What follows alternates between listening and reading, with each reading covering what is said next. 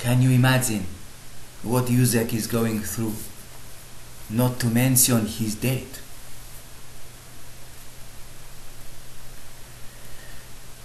Never mind, I will pay for us. It was very loud, apparently.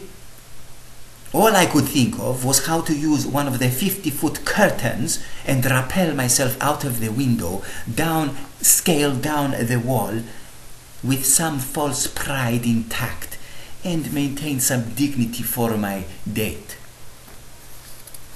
But Zorba Guru. I am so tired of running away from situations. That is my that is why my dearest Guru, I write to you.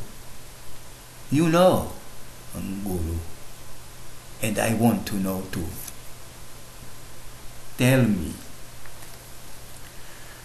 In this situation, I had to come up with something fast, Guru. What I brewed up, however, is not what you would have probably, most probably suggested.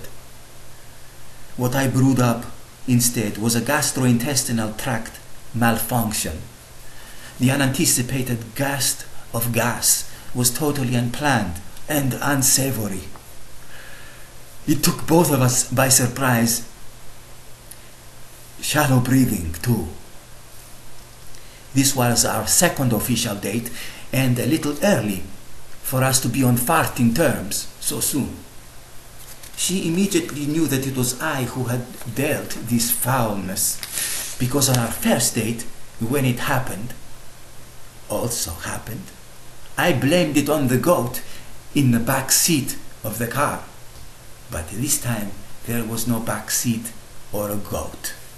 And we both knew it, and gas from goat does not smell like cabbage and mushroom pierogi.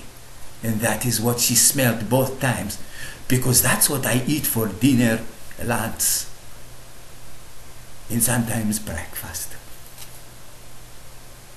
I have read this letter, my friends, time and time. And each time,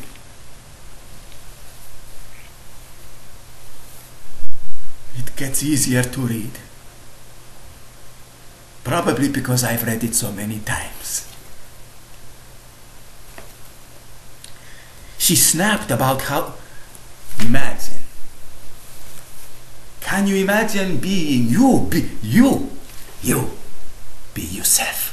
Yukef. Yuskef. Yusk. Yuzek. I cannot even imagine having that name. But to be him